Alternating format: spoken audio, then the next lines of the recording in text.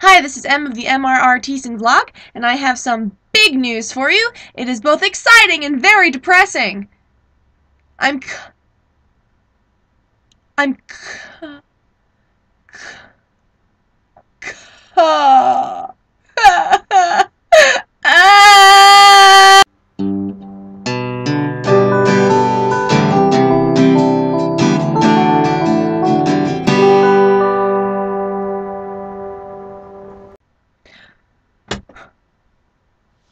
Okay, so, as you probably guessed, I'm uh, cutting my hair.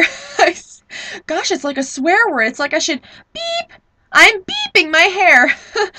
First, let me say that I am an extreme advocate of long hair. My parents were both hippies, and I think I'm a flower child at times. And everybody in our family has had long hair for a very long time. My mother's, hers is like silver and down to her tush.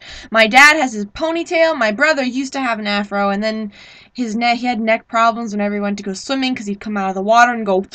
So you know he had to cut it. And my sister, she used to have long hair, but it's short now. Sometimes she's not fun. Sorry, Jay.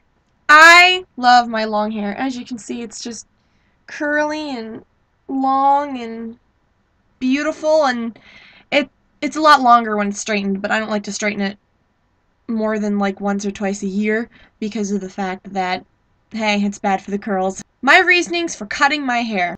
A, I want to be able to say that I've had short hair. I've tried it, and I prefer long hair. I've never had, you know, short hair shorter than my shoulders, so technically it, According to some salon people, it's still considered long. I want to try short boyish cut. Picture. Now, I can say that I've tried the short hair look, and I can't wait to grow my long hair back. Once I have my long hair back, I will probably never cut it again because I would have missed it, oh, so very much. Two, I often get a lot of compliments on how beautiful my hair is, and I always say, oh, thank you so much. I can't tell you how grateful I am to be blessed with such gorgeous hair, and I'm not being vain, I'm being serious. I, I mean, I'm very thankful for my hair. What about kids or women who have gone through chemotherapy and have no hair, and they're, they want their hair back? Why not bless them with my hair? Give it away to people who can use it. That's on a more serious note if you haven't noticed. Letter D. I just like to rebel against my mom. As you can tell, I really haven't gone in order, and I probably have no order, and I'm just rambling a lot. So this concludes my rant on my hair. You're about to see me with short as all get out, boyish haircut. And now, the depressing, corny montage. Say goodbye to my best friend. 아.